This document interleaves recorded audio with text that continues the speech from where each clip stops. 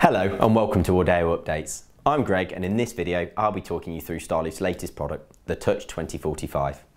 This new product is all about improving the user experience in meeting rooms with a fantastic new interface and a panel that's more intuitive for users. So what's new?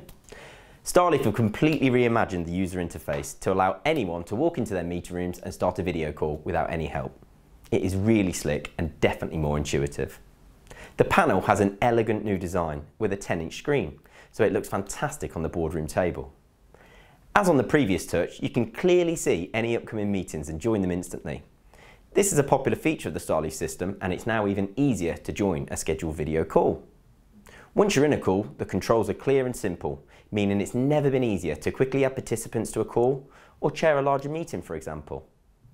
Coming in 2020 will be a particularly cool feature called StarLeaf Sense. If you take your mobile phone into the meeting room, the new panel will sense any meetings you've been invited to on the StarLeaf app and light up the green button. Of course, we'll go into that in more detail when the feature is available next year, but I thought it was worth the teaser. So let me show you some of the key differences by comparing old and new side by side. The physical buttons on the panel have all been replaced with a system control bar at the bottom of the screen. And the home page is a lot more inviting and less crowded. When searching contacts, the personal contacts directory has been removed, so only the contacts from your central directory are visible.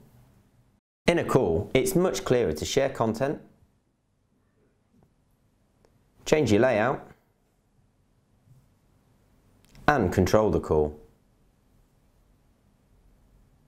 And it's much easier to mute and remove participants from a multi-way meeting.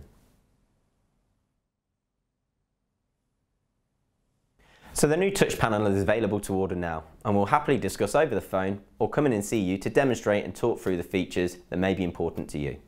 For some quick info, then there are links to the Audeo and StarLeaf websites in the description below where you can read up all about the features of the new panel.